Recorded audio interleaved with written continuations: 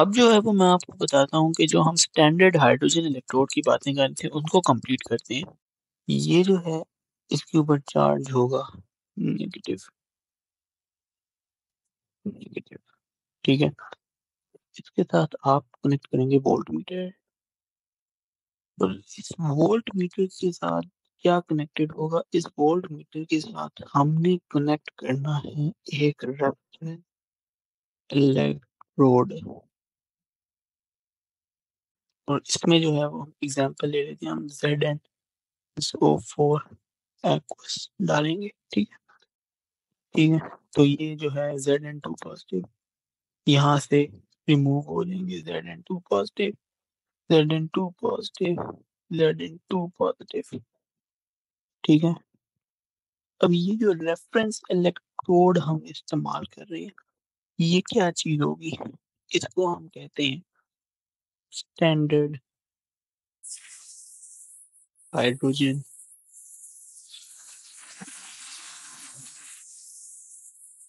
Electrode ठीक है, जिसको हम शॉर्ट में एस एच ई कहते हैं। इसकी जो वोल्टेज होती है, वो zero point zero zero volt होती है। ठीक है, और ये जो वोल्टेज होती है, इसको हम पोटेंशियल डिफरेंस कहते हैं। and difference between the positiveness in solution.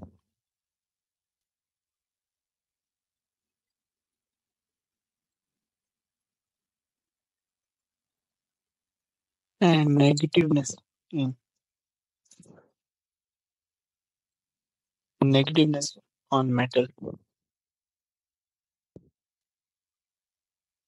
is called potential difference.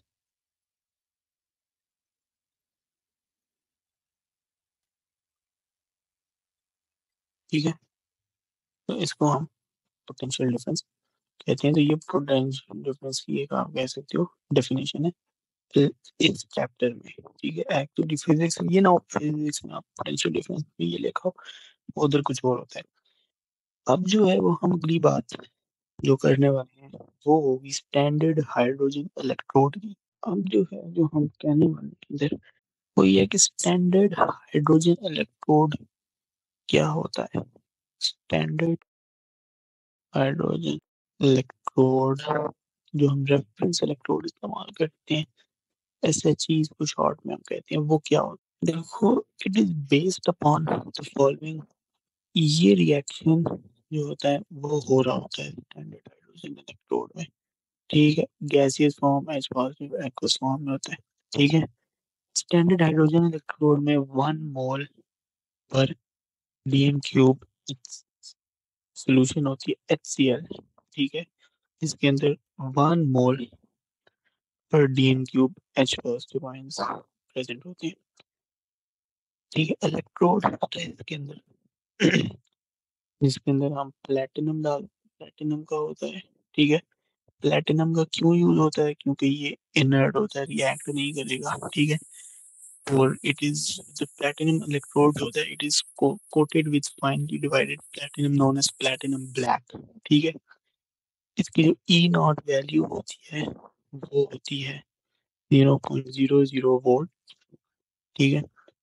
तो अब होता ये है कि इफ़ हाफ़ सेल जो होता है, जो भी बताऊँगा हाफ़ सेल क्या होता है, gains electrons from standard hydrogen electrode, then it has a positive E naught ठीक है?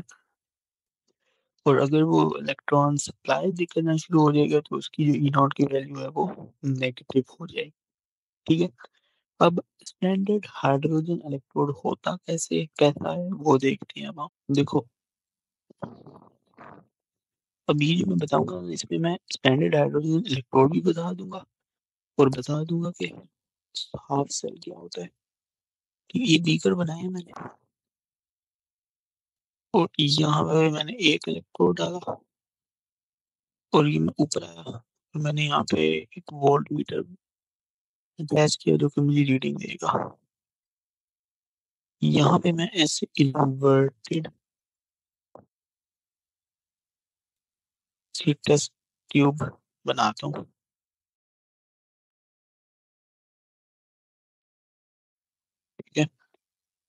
ये थोड़ी सी डायग्राम जरा टेढ़ी है, लेकिन अभी मैं आपको सही वाली डायग्राम बनाता हूँ। H two gas one ATM pressure पे मैं यहाँ पे डालूँगा। इसमें एच पॉजिटिव है? वन मोल पर क्यूब ठीक है? ये जो है ये प्लेटिनम का इलेक्ट्रोड है। ये 298 केल्विन के ऊपर हो रहा है रिएक्शन यहाँ मैंने to positive one mole per cube डाला है और ये मेरे पास कॉपर का इलेक्ट्रोड है ठीक है?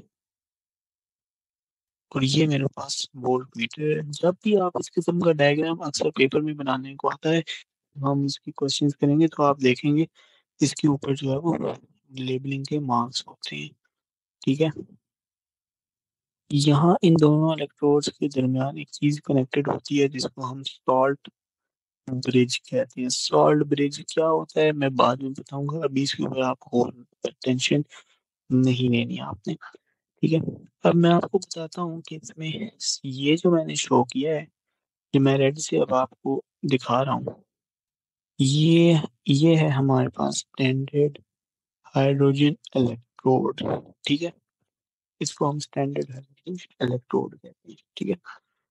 तो जब तो ये जो है, ये रेफरेंस हमारा रेफरेंस इलेक्ट्रोड होता है, और जिसके साथ बना हुआ है, ये तो आम इलेक्ट्रोड है, ठीक है? अब मैं आपको कहता हूँ कि यहाँ से जो है, इसको मैं हटा रिमूव करता हूँ। इसको यहाँ से काट दो, बीच में से। और ये आपके पास वन यहाँ पे हो गया और टू यहाँ पे हो गया। तो ये जो वन है, यानी कि जो, ये वाली साइड है सारी जिसमें मैं कलर कर रहा हूँ, ये आपके पास, इसको हम कहते हैं, ये आपके पास हाफ़ सेल ठीक है? क्योंकि आधा, ठीक है? तो हाफ़ सेल की डेफिनेशन देख लेते हैं अब हम। अब जो है, वो हम देखने वाले हैं। हाफ़ सेल का मैंने आपको बता दिया। अब हम लिखते हैं यहाँ पे हाफ़ सेल और इसकी डेफिनेशन मैं लिखता हूँ। देखिएगा मैं, लिखिएगा मेरे साथ। It is half of an electrochemical cell. ठीक है? ये तो आप सोच रहे होंगे, बड़ी आसान सी बात है। In as we hear, the heart cell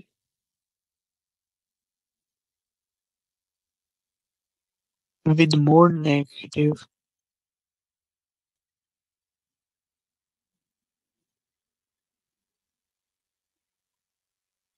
with more negative E naught value supplies electrons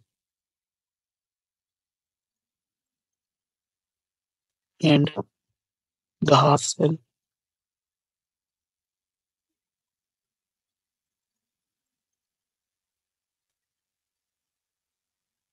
with more positive E naught value receives electrons.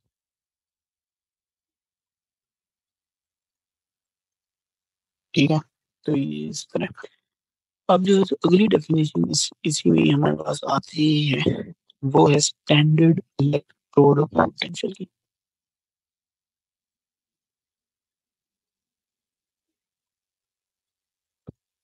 Potential इसको हम ई e नॉट कहते हैं ठीक है? इसकी डेफिनेशन देखते हैं अब हम।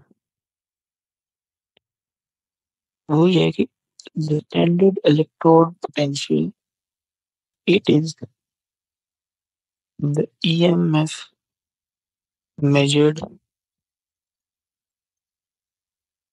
of an electro chemical cell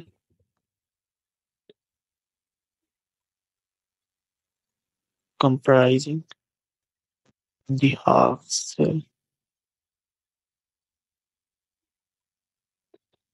and the standard hydrogen electrode. EMF is measured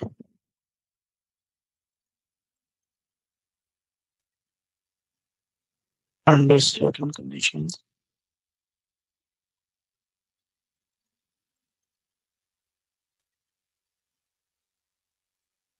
Certain conditions.